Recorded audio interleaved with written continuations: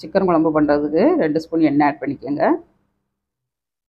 ஜீரகம் ஒரு ஸ்பூன் ரெண்டு ஏலக்காய் கல்பாசி கொஞ்சம் பட்டை கொஞ்சம் சோம்பு ஒரு ஸ்பூன் லவங்கம் மூணு லவங்கம் போட்டுக்கோங்க ஒரு நட்சத்திரப்பூ ரெண்டு மூணு பிரிஞ்சி இலை போட்டுக்கோங்க. கொஞ்சம் ஃப்ரீயானவுடனே உடனே வெங்காயம் ரெண்டு வெங்காயம் ஒரு பச்சை மிளகாய் ஒரு தக்காளிங்க. வெங்காயத்தையும் பச்சை மிளகாயும் போட்டு நல்லா வதக்கிக்கலாம்.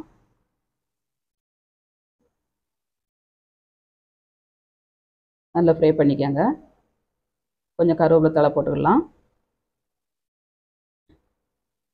இஞ்சி பூண்டு பேஸ்ட் ஒரு ஒன்றரை ஸ்பூன் இஞ்சி பூண்டு பேஸ்ட் ஆட் பண்ணிக்கோங்க.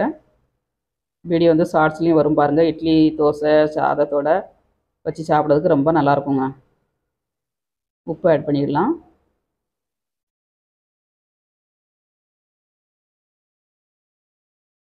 இப்போ வரமிளகாத்தூள் ரெண்டு ஸ்பூன்.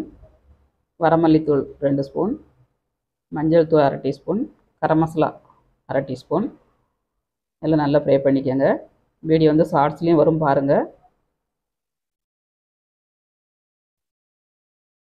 Chicken add பண்ணியாச்சுங்க. ஒரு கிலோ சிக்கன் எடுத்துருக்கேன். ஒரு கிலோ சிக்கனுக்கு இந்த அளவுக்கு மசாலா ஆட் பண்ணியிருக்காங்க. இதே அளவு கூட பண்ணுங்கள் சிக்கன் குழம்பு வந்து ரொம்ப நல்லாயிருக்கும் சாப்பிட்றதுக்கு. இப்போ சிக்கனுக்கு வந்துடி உப்பு ஆட் பண்ணிடலாம். ஃபஸ்ட்டு தக்காளி வதங்கிறது கொஞ்சம் உப்பு ஆட் பண்ணியிருக்கோம் காணலன்னா செக் பண்ணிவிட்டு நம்ம கொஞ்சோண்டு லாஸ்ட்டில் ஆட் பண்ணிடலாங்க இந்த மசாலாலே கொஞ்சம் நேரம் நீங்கள் வேக விடுங்க. வேக விட்டிங்கன்னா டேஸ்ட் வந்து நல்லாயிருக்குங்கம்மா குழம்பு. ஒரு பத்து சின்ன வெங்காயம் ஒரு ஸ்பூன் சோம்பு தேங்காய் ஒரு அஞ்சு ஸ்பூன் தேங்காய்ங்க குழம்பு வந்து நம்ம வைக்கும்போது தேங்காய் கொஞ்சம் அதிகமாக அரைச்சோம்னா குழம்பு வந்து நல்லாயிருக்குங்க கிரேவியை பண்ணணுன்னா நீங்கள் தேங்காய் போடாமல் பண்ணிக்கோங்க. மறைச்சி எடுத்து வச்சு சிக்கனை கிண்டி கொடுத்துக்கலாம்.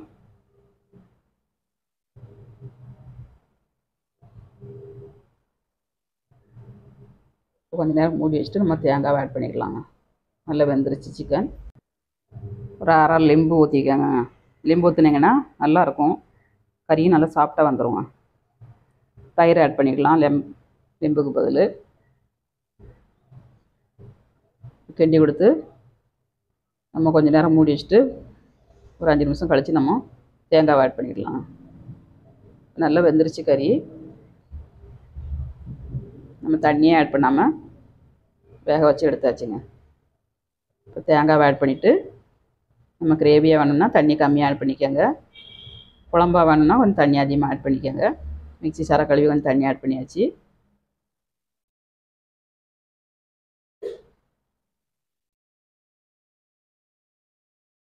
நான் குழம்பு மாதிரி வைக்கிறேன் சாதத்தோட ஊற்றி சாப்பிட்றதுக்கு.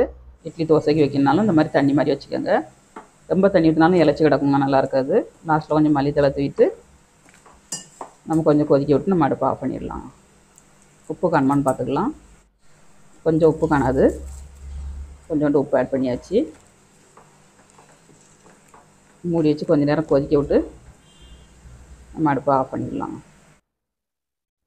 மூடி வச்சு ஒரு மூணு நிமிஷம் வேக விட்டு கிண்டி கொடுத்து நம்ம அடுப்பை ஆஃப் பண்ணிடலாம். சிக்கன் குழம்பு யாருக்கெல்லாம் பிடிச்சிருக்குன்னு கமெண்ட்ஸ் பண்ணுங்கள் வீடியோக்கு தொடர்ந்து ஆதரவு கொடுங்க. சூப்பரான சிக்கன் குழம்பு ரெடிங்க. லாஸ்ட் கொஞ்சம் மல்லித்தலை தூக்கிங்க. மீண்டும் நெக்ஸ்ட் வீடியோவில் சந்திப்போம். பா